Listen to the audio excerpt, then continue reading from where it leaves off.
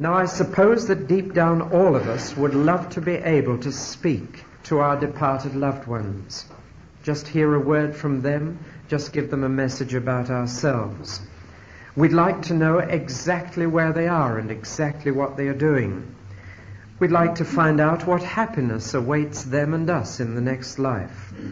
And spiritualism claims to have the answer to this very deep need of the human heart. Now I'm going to approach it from a number of angles, and the first angle is just a historical one, asking when and where the spiritualistic practice arose. Now there's no doubt about it that this is probably one of the most ancient practices of the human race, going way back through the centuries into the dim recesses of time. It's certainly mentioned in the Bible, in the Old Testament. Ulysses was a man who practiced this. If you've read Homer's Odyssey, you'll know that the ancient Greeks sought to contact the dead. And all through the centuries, there have been people who have claimed to do this. But I'm concerned primarily with the modern movement, the one that you'll meet today, the one that you'll uh, come in contact with. And funnily enough, this started in the middle of the 19th century in the United States and once again on the eastern coast, and like a number of the other movements we've been looking at, was largely led by women. Isn't it astonishing how many of these movements started in the eastern part of the United States in the middle of the last century? I'll tell you why I think that happened. Because about 1859, and leading up to that and following that, there was a tremendous spiritual revival in America and on this side of the Atlantic as well, in Northern Ireland and in other places in the British Isles. And it seems that wherever the Holy Spirit is active, other spirits become active too.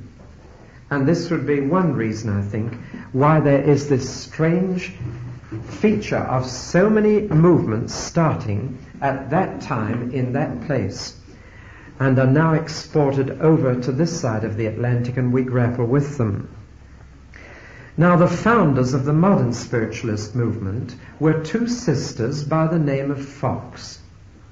And when they were both quite young, they were the youngest of six girls. When they were both quite young, these two sisters, Margaret and Kate, began to experience what is called poltergeist activity. Weird things began to happen in their bedroom. Furniture was moved and even thrown around the room. The bedclothes were pulled off them and so on. Being children, they were not terribly frightened, but more curious than frightened. And they began to try and contact whoever was doing this. And they developed a very simple system of communication with the invisible beings who were moving things around, of rapping. And they asked whoever was doing it to knock three times for yes, one for no, and two for doubtful. And the poltergeist activity began to take the form of knocking. Later they discovered that there was a story of a man who had been murdered in the house in which they lived and buried in the cellar. And this was taken to link up with what was happening. But after a time they were pronounced as mediums, people who could communicate with the spirit world. One of them, many years later, after marriage, returned to this house and began to develop this activity and formed what she called the Society of Spiritualists. And that's where the name began. She toured the cities of the United States talking of this society, enlisting support for it. In later years, Margaret did confess that the rapping which was heard at her meetings was in fact a hoax that she had learned how to crack her joints noisily, and that this was how it was done. It was she who confessed this, it wasn't anyone else. Some years after that, she took back the confession and said that the confession wasn't true, and then took to drink. Uh, but this is uh, the beginnings. Now, having told you about the two sisters, let me now talk to you about the various societies that have ultimately sprung from their activity. Many mediums took up the practice of the occult, and I'm afraid many people saw it as a lucrative business and cashed in on the act. But it spread throughout America and then finally came to Europe. The first big association was in 1863, the Nationalist, the National Spiritualist Association. Then in 1907, the Progressive Spiritualist Church. And then in 1914, the National Christian Spiritualists. Then in 1936, you can see how recent a lot of this is, the International General Assembly of Spiritualists was held. And finally in 1944, there came into being a body known as the Federation of Spiritualist Churches and Associations. And that pretty well links most major groups together. So that 1944 is quite recent. Within this federation, formed in 1944, there are now some 2 million people in the world who are registered as associate members. There must be, I suppose, another 3 million of adherents and possibly 10 or 15 million sympathizers, so that it's no small thing. In this kingdom, in 1960, there were a thousand churches with about a quarter of a million members, so that it's uh, about half the size of the Baptist denomination, for example, to give you a rough idea by comparison. It has also numbered some very outstanding people among its patrons. Harriet Martineau was a keen spiritualist, as was Elizabeth Barrett Browning. Sir Arthur Conan Doyle, and if you've been a Sherlock Holmes fan, as I have, um, then uh, you'll probably know about Sir Arthur Conan Doyle, and from his writings you'll have come across certain comments on the spiritualist movement. Sir William Crookes, Lord Dowding, the Chief of the Royal Air Force, was a spiritualist. Mackenzie King was another. And there have been some quite outstanding people, intelligent people, uh, brainy people who have uh, patronized the whole movement. It does not follow, by the way, that because a man is an expert in one field, that never that because of this he can pronounce on another field. But I mention this that these great men were in the movement. Now that's the history of it in a nutshell, not very exhaustive, but it gives you the feel of the thing. I want now to examine it from what we call the theological angle. In other words, how its beliefs line up with what Christians believe. Most spiritualists began in a Christian church. Once again, they seem to have made most of their converts not from the world but from the church and usually again quite characteristically from members of churches where they were not taught the Bible and did not have a firm grasp of their own faith.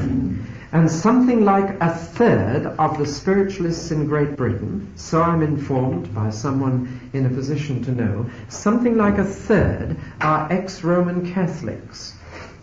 This is perhaps very significant. It's a very high number, and I think there's a, uh, some meaning in this. Now, they use a lot of Christian language. Their church names reveal this. For example, the Church of Christian Fellowship is one, the Temple of the Holy Trinity is another, the Church of the Spirit is a third, though there are some variations between them. First of all, what do they believe about God? I find it a little difficult to find this out. God seems to be somewhat impersonal a kind of force rather than a person. And I found this again and again. Incidentally, I lived with two spiritualists for a year, and I found this in personal conversation also. It's not easy to get a strong sense of a person, and particularly of three persons in one. The Holy Spirit seems to be uh, more an electrical or impersonal force rather than a person you can grieve and who can teach you. But there isn't a great deal of unorthodoxy at that point. What do they believe about man? That man has an earthly body, that he is animated by a soul, which is called the astral body or heavenly body, that at death that one is finished with forever, and the astral body, which is regarded as the real one, uh, goes on in its separate existence forever.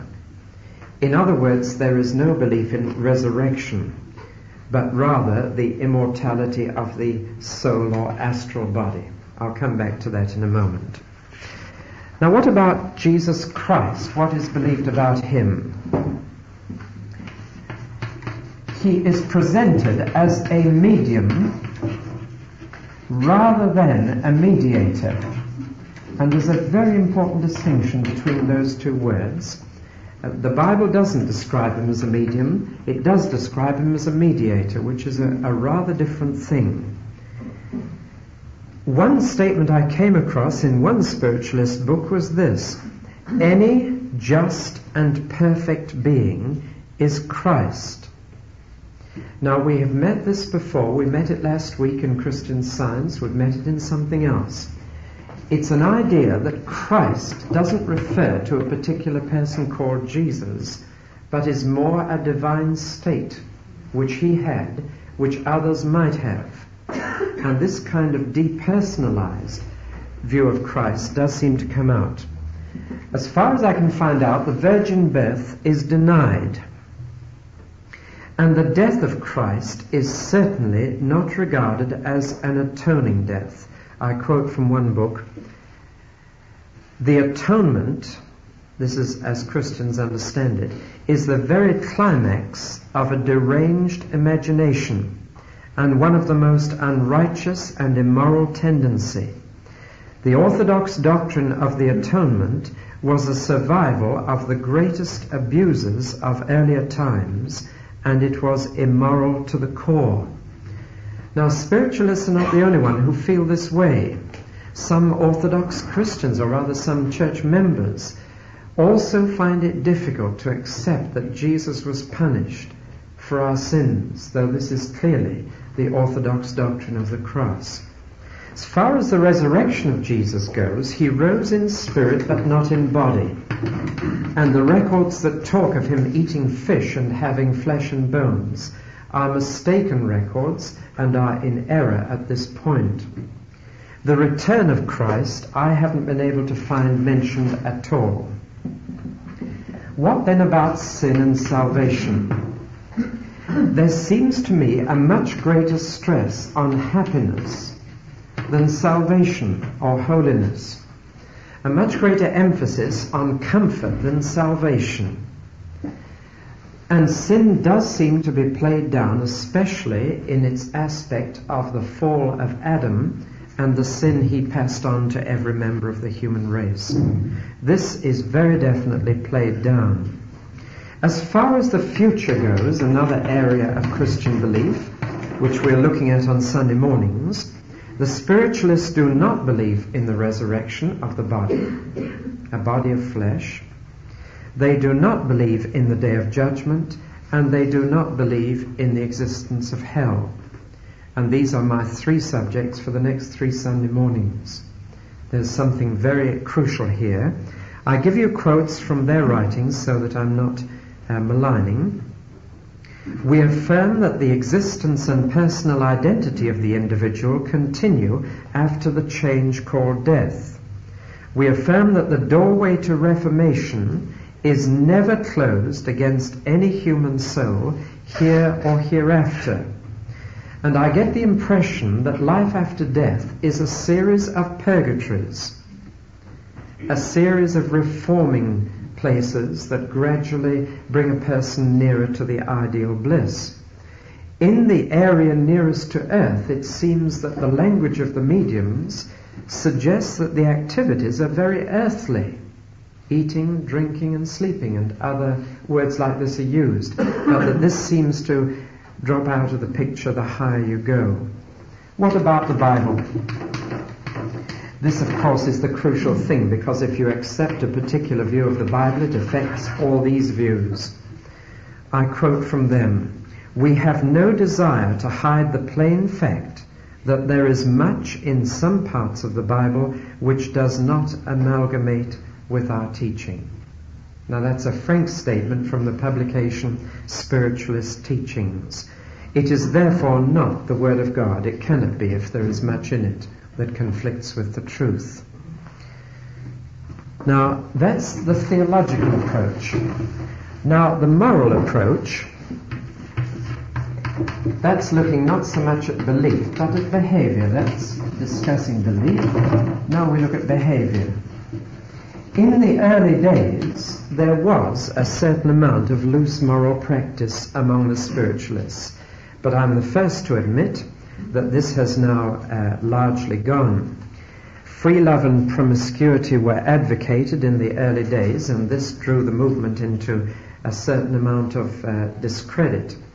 In 1886, the first spiritualist convention said, There is no such thing as moral obligation.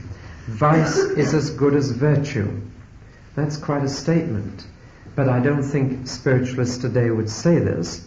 And I heard recently that a spiritualist church in S- South America is one of the most outstanding in the area for its, um, its attack on social evil and its service to those in need. I think you could sum up their morals by the word love. Now, that word is, is an elastic word. It can mean a lot, it can mean a little, it can mean a very high thing, a very low thing. But there is a tremendous stress on the word love. I get the impression that it is a love that is centered in the heart rather than the will an emotional rather than a, a, volitional thing. But then they're not the only ones to perhaps get that misunderstanding. You see, if love is a thing that you feel for people, you can't command it. It would only happen. Whereas Jesus said, Thou shalt love. And the kind of love that most people sing about and talk about, you can't tell a person to have. And the love of which Jesus spoke is not an emotional thing. It may have feelings attached to it, but it's something that Jesus can tell a person to do. And the nearest English equivalent that I know is care. And it's something you can do even to someone you don't like. And the Good Samaritan did it to someone he didn't like. There are now moral requirements for both ministers and mediums but on the whole, it does seem there, there is this stress on happiness rather than holiness. Now I approach this from the psychical point of view and begin to ask about the various methods that are used. Now, I'll just mention one or two so that you're aware of them, and so that if ever you find yourself in a party, for example, where they're playing about like this, you'll be aware of them. A lot of sixth formers in grammar schools start dabbling with things like this for a kick and don't realize how serious it can be or where it can lead. And people do it at parties and so on. Things like uh, table tilting and rapping, playing of musical instruments, slate writing, automatic writing, materializing, that means the becoming visible of, of uh, the departed, levitation, bodies being raised from the floor, um, lengthening of a medium's body, Ouija boards, photos. Um, there are many methods like this, but the most common is the trance, in which a medium seeks to be possessed by a spirit. Now that brings me to the mediums, and there are in fact 28 different kinds of medium who operate in different ways and who bring their messages in different ways.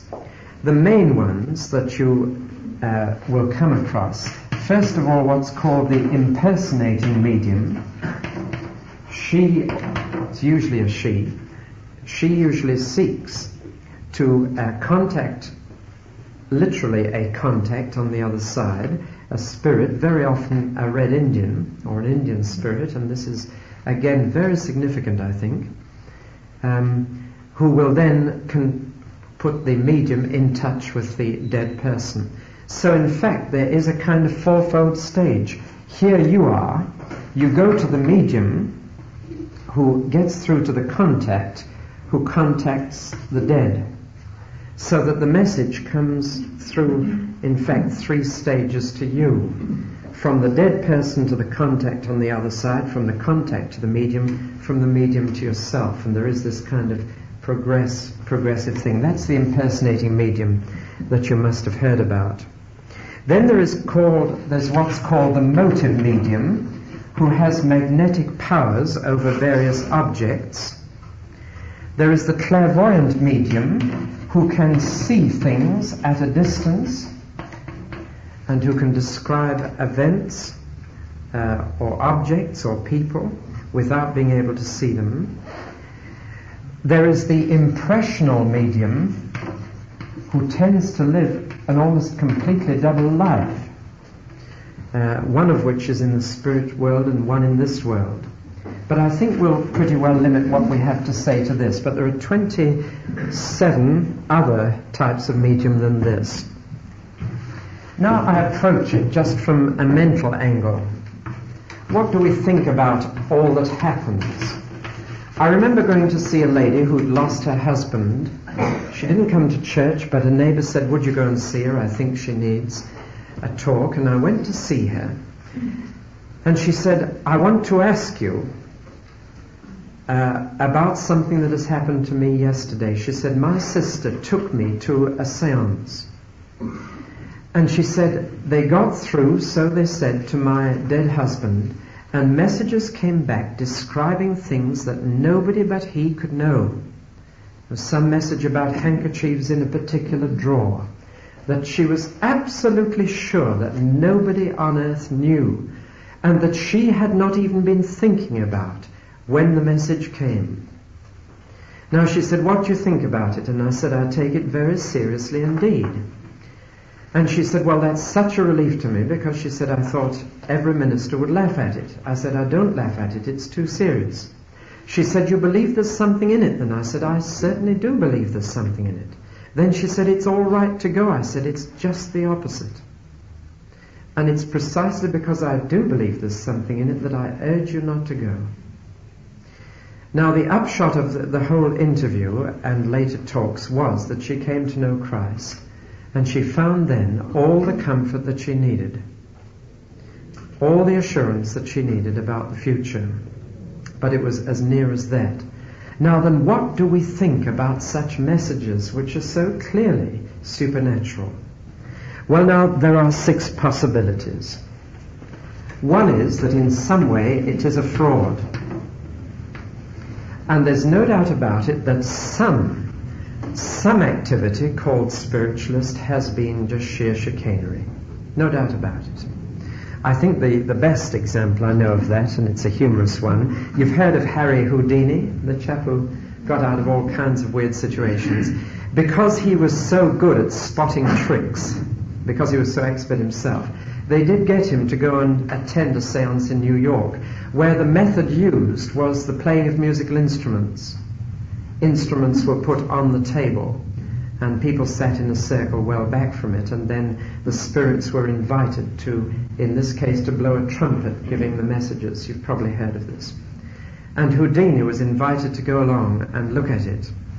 And he did, and the lights went out, they heard the trumpet and so on, and the lights went on again. But when they went on again, one of the ladies sitting around in the circle had a black mouth. And he had covered the mouthpiece with boot polish, um, which of course was not seen in, in the dark. That is not to say that all of it or even most of it is fraud. It's just to say that this is a possibility. And I'm afraid because it can be a lucrative business to some, there are the frauds in it. But then there are frauds in most businesses. So that doesn't make the final comment. There is the possibility of self deception. That's a possibility in every walk of life that you can uh, deceive yourself into thinking something has happened when it hasn't. We've all experienced, I think, when we've thought we've seen someone walking down the high street and we've said to them later in the day, saw you in the high street, and they've said, well, we weren't there, we've been up in London for the day. But I could have sworn I saw you in the high street. And we have, in fact, really talked ourselves into believing that we did. Something set it off, but in fact what we were sure of was not true. That's a possibility, but I don't think it's the answer. Telepathy is a third possibility. Nowadays, people don't talk about telepathy. They talk about ESP, extrasensory perception. But it's the same thing, knowing things without having any direct contact or knowledge. Now, I have no doubt at all that there are occasions when people are telepathic. Uh, this has happened in my own life. I'm sure it's happened in yours when a loved one far away knew that something wrong had happened to you. This is a simple uh, example of telepathy. I'm sure how many of you have had that kind of experience? Uh, quite a few already, and probably more if you thought about it. The communication of thoughts to one another, knowing something about someone else without being told, especially between people closely related. Now, people are saying, is it a case of telepathy? Is the person actually, uh, by telepathy, communicating thoughts about the loved one to the medium, which are then being fed back as a message from the other side? It could be, but I don't think necessarily is. A development of that is the gift of clairvoyance. Now, telepathy is passing of thought from one mind to another, but clairvoyance uh, is simply one mind knowing things not related necessarily to another person. And I have no doubt myself that some people have a gift of clairvoyance, second sight, sixth sight, sixth sense, whatever you like to call it. There's a, another idea which I, I think is, um, I don't know, I'll try and tell you what it means. The collective unconscious. Now, this is the this is the psychologist's explanation of it. And if I can do it in a diagram, this might help. Here is my mind, here is your mind, our conscious mind. The belief is that deep down, below the conscious level, all our minds are in fact joined up, like this. This is the theory. And that from this collective unconscious, our instincts come and the ideas that we all have come from this. Now, this is the theory. I don't think there's any evidence to support it. But in this case, they say if deep down our minds are all connected subconsciously, unconsciously, what this person knows can be fed through to that person. And it's simply a case of feeding along. Well, it's an interesting theory, but I think it's no more. We are left with two possibilities. One is that in fact the messages are coming from the dead and that it is uh, genuine. The other is the line that the Bible seems to take, and it's this that you are contacting another world, but you are not contacting the dead, you are contacting spirits. Now, the Bible everywhere accepts that there are other beings in the universe apart from men. They are called in some places angels. That is, if they are good. Where they become evil, they are called demons. But both words are very misleading. One of these days I want to speak to you about angels and demons and tell you what they really mean. But most people think of sort of long fair hair with wings, you know, the, you know, the kind of thing in a nightdress and, and this. Um, as I've said before, if that's what they look like, you would never entertain one unawares.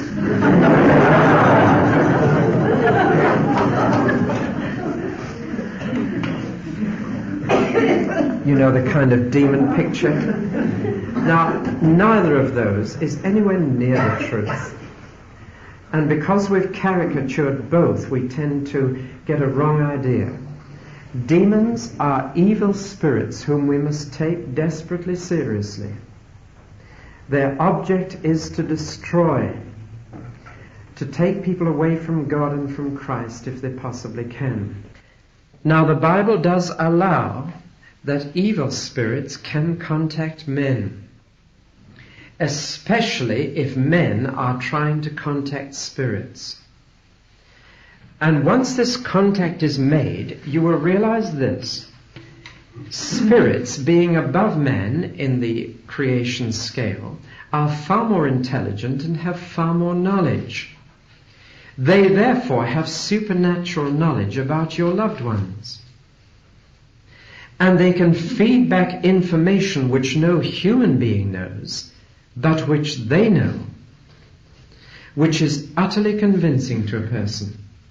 And naturally so, because here is knowledge that nobody could possibly know about. And the problem for all spiritualists is this how do you test how do you find out what you're contacting when you get through and these messages come? It's absolutely vital that a person who is contacting spirit should test. A person who is receiving any communication from the supernatural should test that straight away to see what source it comes from. And the Bible, sure enough, gives us a number of basic and simple tests that we can apply. And I'll go into these now. So we now come finally to the biblical attitude.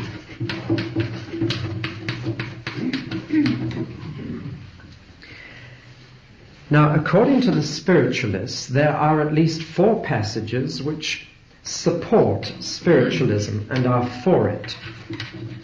I'm going to add in a moment those against, but I want to deal with the four that they use in the Bible to support their practice.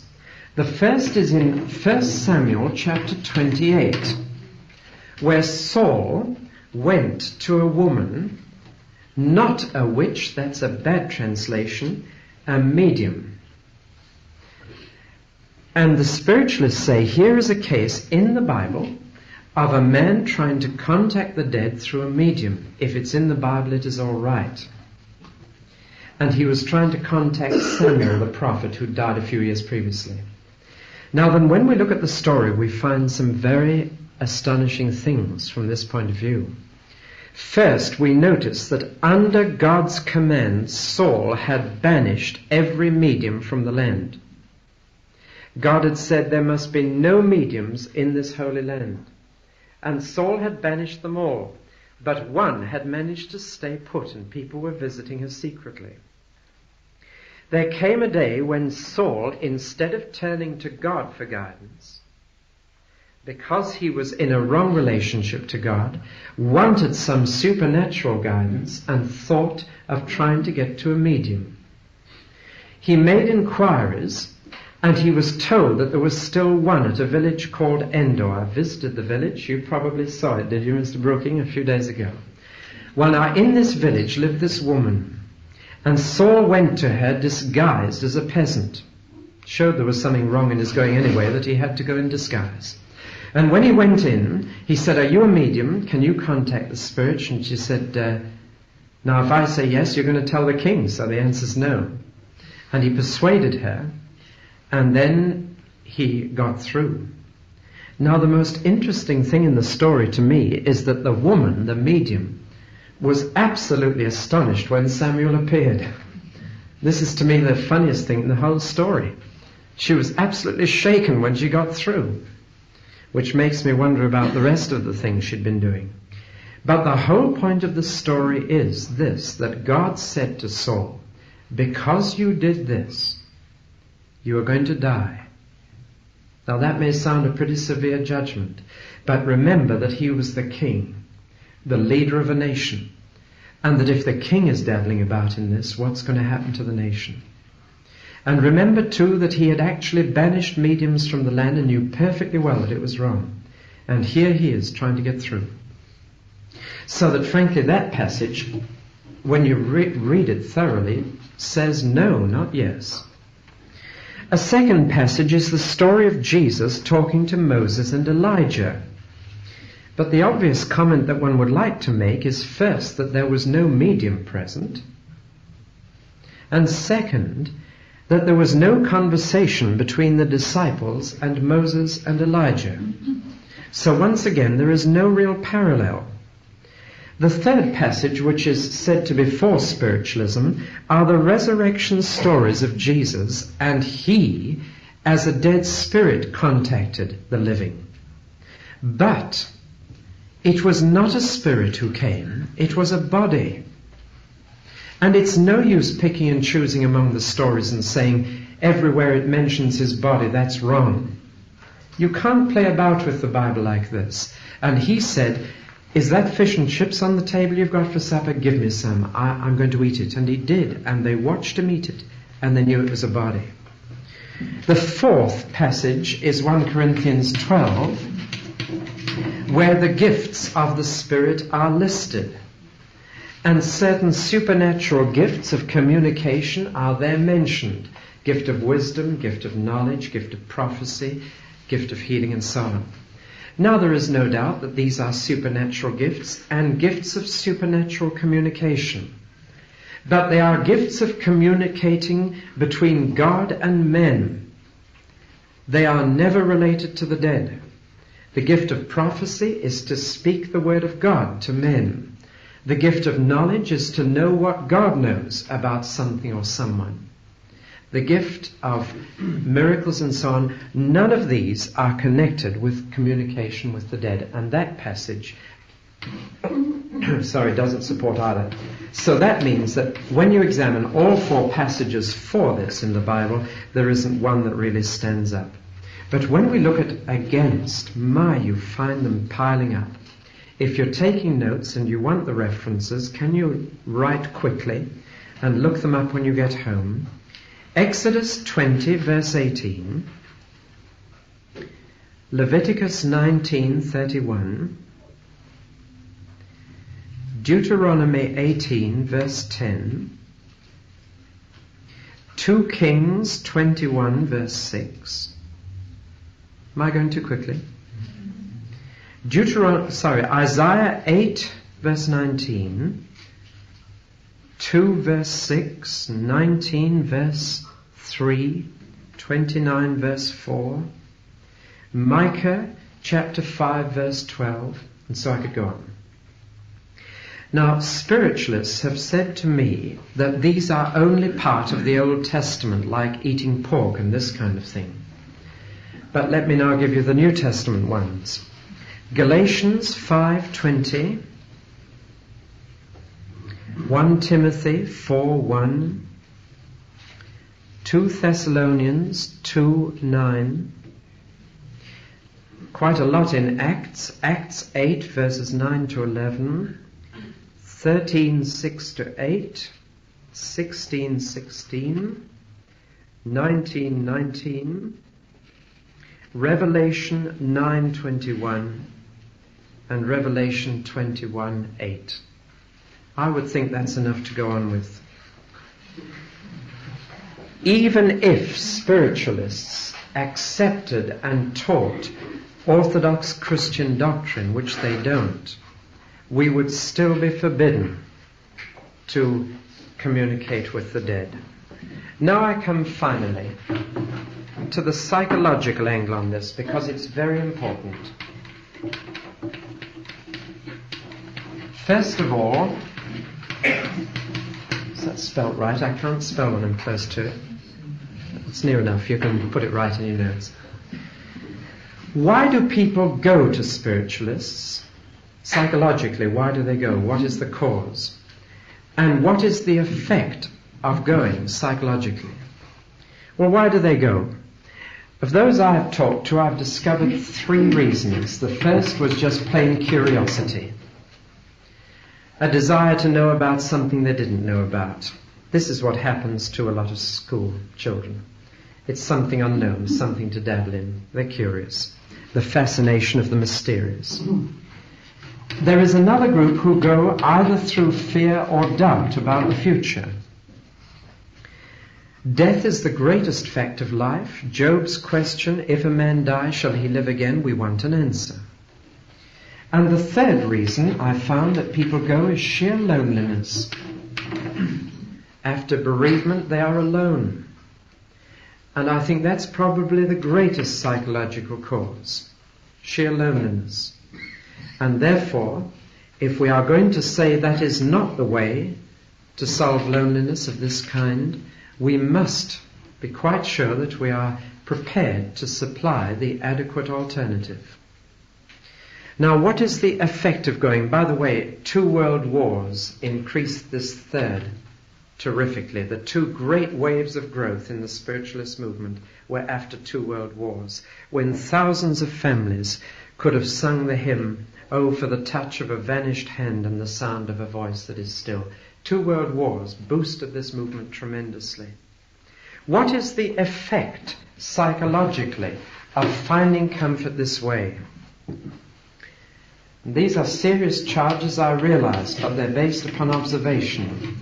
One is selfishness, a preoccupation with comforting self and getting more and more comfort for self. A second is psychological disturbance. A lady called Mrs. Travers Smith, who was 20 years a medium, said this afterwards It is wise and sane not to make the attempt to speak with the dead. The chances against genuine communication are about 10 to 1. The disappointments and the doubts connected with the experiments are great. And it is the disappointment and the doubt that causes the psychological disturbance.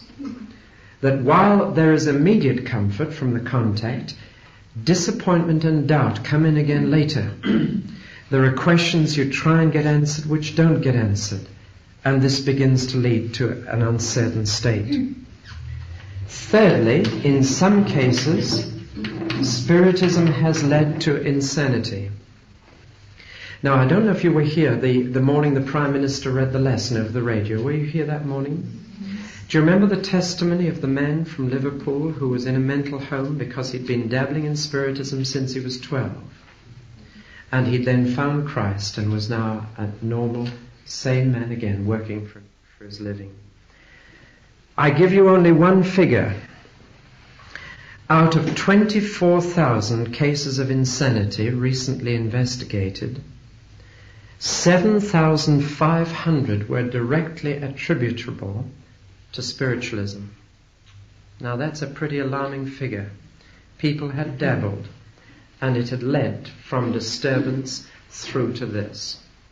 And the fourth possible thing, and the most dangerous and difficult of all, is of course demon possession. That does not happen to everybody who dabbles. But it is a possibility once you open yourself to contact with the spirit world. And that is something that we are told to watch very carefully. I said this was my last heading. It isn't. My last is the practical way. On a practical issue, what do we do about it? First, it is wise for the Christian never to play with spiritualism. It is dangerous. It's a very delicate situation. It is easier to take up than to drop. And my first advice would be leave it right alone. Even if you are tempted, needing comfort, even if you're finding it difficult, without some assurance of this direct kind, leave it alone if you possibly can. If for any reason you find yourself in a situation like this, then test the spirits. Now, I was talking to a man down in Cardiff, and he was telling me of an interesting experience. He's a Christian, and he's in business with a retired army major who is not a Christian. And the retired army major said to this man one night, and said, uh, What do you think of spiritualism? And uh, my friend told him that you can get through to spirits, that you can contact evil spirits, and that this could be damaging. And the major said, Well, how do you know when you're through to this? How can you, you tell? And my friend said, Well, there's a scriptural test. It's very simple. If a spirit will not say that Jesus has come in the flesh, it's not the Holy Spirit. It's not of God. Now, the Major didn't let on, but he was going to a spiritualist seance that very night because his wife had been attending for some time and had persuaded her husband to go. Well, the Major didn't let on, but he went to it, and the following morning he came to the office in Cardiff and he said to my friend, he said, it works. And so my friend was a bit puzzled and said, What works? Well, he said, I went to a spiritualist seance last night. And he said, We got through, and they were asking any of us if we wanted to ask any questions about anyone, and messages were coming back. So he said, They asked me. And he said, I asked them to ask the medium whether Jesus had come in the flesh. And he said, When they asked the medium this question, a flood of language came from her mouth, dirtier than anything I had ever heard in the army, more blasphemous than anything I'd heard in my life. And he said, people got up and left the room. He said, one man rushed past me saying, that's the end of that for me. And he said, I've come home, and he said, my wife won't go there again. So he said, it works. Now, he wasn't a Christian, but he was testing. Give you one more story. A lady not far from here became a Christian, but shortly afterwards became a medium and went to the spiritualist center and began to act for other people. Now, her minister met her shortly afterwards and said, Mrs. So and so, is this right, what I hear? And she said, Yes. And he said, Well, do you realize what you're doing? And she said, But it's Christian. It's Christian. I know it is. And he said, How do you know? Well, she said, I've said to the spirits, Jesus is my master. And they have replied, and is ours too. So it must be all right. And wisely he said, Well, next time you are through to them, say this Jesus is Lord. And tell them to say it. Because nobody can say that. No spirit can say those words, an evil spirit. They will not say it. Even man doesn't say it except the Holy Ghost moves him. So she went and she got through. This is only a year or two ago. And she got through and she said, Jesus is Lord. Will you say that? And from that moment she was never able to get through again. Her powers left her. And she's now back in the church where she was converted and going on well with the Lord. These are the tests we're given in Scripture. Jesus is Lord. Jesus has come in the flesh, risen in the flesh. These are the things the spirits do not accept, and these are the tests we've been given to apply. Now to come right back to us.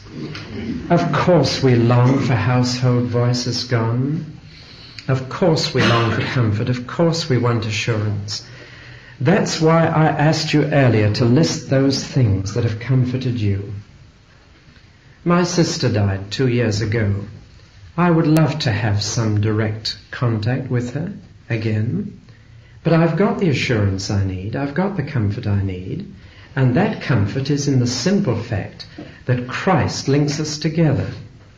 That with one hand he holds us, with the other hand, he holds them. I believe in the communion of saints. I don't believe in the communication of saints, but I believe in the communion of saints that draws us together.